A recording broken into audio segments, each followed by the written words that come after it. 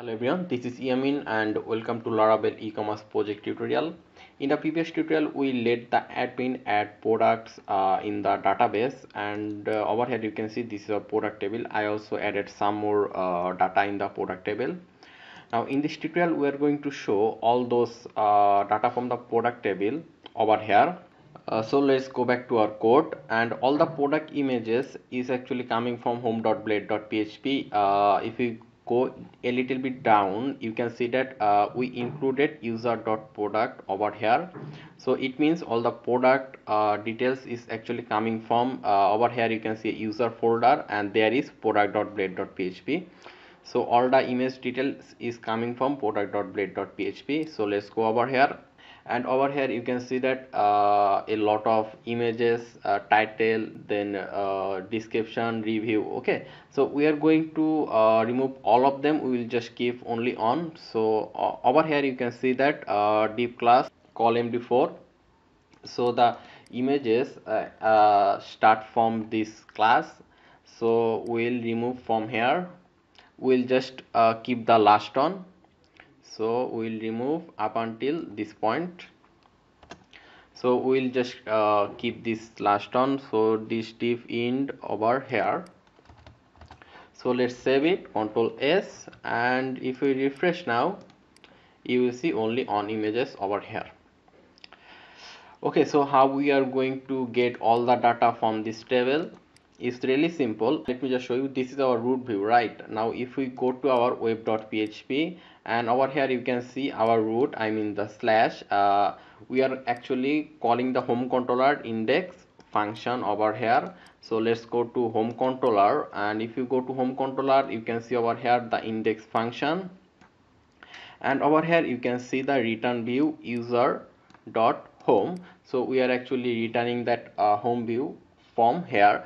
So we just need to add over here uh, we first need to declare a variable. Uh, let's say here dollar data. You can declare any variable you want but normally I prefer dollar data. So we'll say dollar data is equal to we need to say the uh, table name which was product. Then we'll give uh, double colon over here then all. So what will happen is that uh, all the product data will be stored or uh, value will be stored in this dollar data variable. So and in order to send the uh, data dollar data to uh, to this product page we just need to give a comma over here. We will say over here compact. Then inside this first bracket uh, we will give two single quotation and then we will say data. So now we are able to uh, send the all the product data uh, to this user dot home page now there is one more thing uh, is that we need to add the product model over here. Uh, so just like user so let me just copy it and uh, let's paste the product model. We'll say app slash model slash we'll say over here product. So now we'll be able to get all the product data in this uh, home controller. So if we save it and uh, now we can go to our product.blade.php and over here uh, we'll first say over here at the rate of uh, let me just say over here at the rate of for each for each we'll say dollar data as let's say dollar product. And this for each will end over here. So let's say over here at the rate of end for each. So now uh, we are mentioning a dollar data as dollar product. So first of all in order to get the title over here we will we need to give two second bracket over here. Then we need to say over here dollar we will say over here dollar product.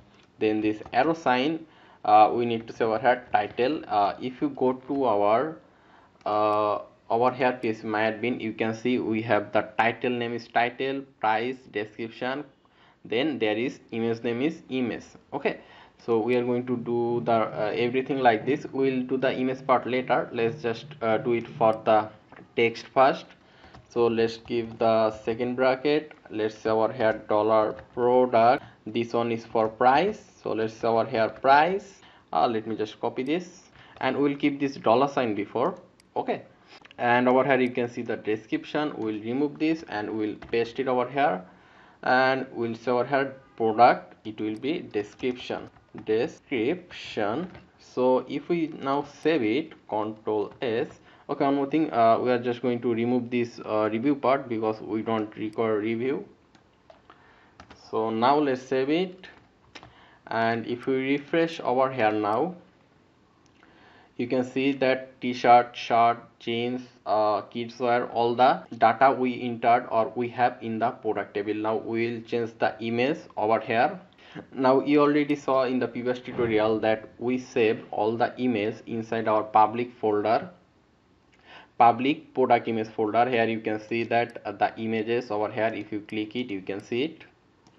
So uh, in order to show the image we have to uh, mention the folder name over here. So over here you can see the folder name is product image. So, we, so we'll say over here product image. You need to give this slash over here. Sometime it may create problem if you don't give it. So again we'll say over here product. Then we just need to say over here the image product image. So if we save it now and if we refresh we will see all the images over here. So you can see that all the images is over here now the thing is uh, the image size is a bit too big so let's just adjust the size. Let's uh, give the height and width over here. Let's over here height uh, let's say 300 and let's say width uh, it will be on 50 so save it and if we refresh okay this is a little bit smaller. I think this is good enough not too bad and not too big now uh, this is for the uh, route view. Now now if the user login then it will give us a error. Uh, let me just show you. Let's uh, log in by the user. Then let's give the password over here. And if you click login uh, it will show, show us a error that undefined variable dollar data. Because we are actually uh, returning the same view for the login user. So what we have to do is that uh, if you go to uh, over here web.php you can see slash redirects home controller. A function name is redirect. So let's go to uh, home controller. And if you go, uh, go to home controller you can see the function redirect over here. And if, if you go down you can see we are actually returning view user dot home. Actually we are actually uh, sending the same view uh, with over here we are sending a dollar data but over here we didn't. So we just have to do the same thing. Uh, you can just copy it from here. So let me just copy it from here and we just uh, paste it over here. So control v and uh, one thing uh, you need to make sure that over here our variable is dollar data. You need to make sure that the both variable has to be same. Otherwise you will get a error okay so if we save it now and if we refresh it won't give us any error. Here you can see that the logged in user can see all the products over here perfectly. So there is one more problem uh, is that we are actually showing all the images over here. Now what if you have hundreds of images? Are you going to show all of them in the same page obviously not. That's not a uh, like good option or good idea. We should have a like page option over here that uh, a single page will only contain uh, contain six or seven images uh, anything you wish. So for this uh, the process is really simple. Uh, we just need to say over here instead of all uh, we just need to say over here paginate and inside this first bracket let's say we will have three in a single page. And we also then need to change it over here as well. So let's say over here paginate uh, it will be 3 so if we save it now and if we refresh we will see only three images over here not six. So here you can see we have only three images but how we are going to see all the uh, other images? So we'll have a uh, page option over here. So now laravel give us a uh, option uh, easy really easy options show that we can uh, create page uh, in our project so it's really simple. Just uh, after this in for each loop we just have to uh, say over here. Uh, we just will declare a div over here and inside this div uh, we'll uh, mention a bootstrap class. So we'll say over here class is equal to d uh, minus flex then justify justify justify then minus content minus center and inside this uh, we'll give a second bracket and we'll give this sign. Uh, I don't remember what this sign called. Uh, please let me know in the comment section what this sign call actually. We'll say over here dollar uh, dollar and over here you can see dollar data right? We need to mention this dollar data not product. Okay this dollar data. Then a arrow sign we will say over here link. We also need to write two more line of code uh, for pagination. So for this we need to go to app then providers. You can see over here app service providers. So over here let me just copy it uh, and we'll paste it over here. We'll say over here uh, illuminate.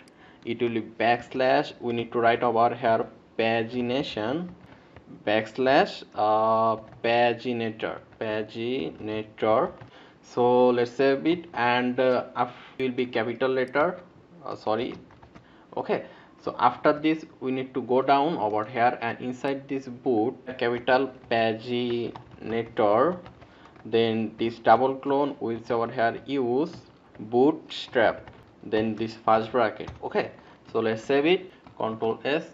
Uh, now if we refresh now and uh, if you go down you can see a page option over here. If you click to it will take us to second page. Over here you can see with different image. So this is all for this tutorial. Uh, in the next tutorial we'll let the admin uh, we'll have the admin uh, see all the images that uh, we have in the product. And admin will be able to update and delete them as well. Okay.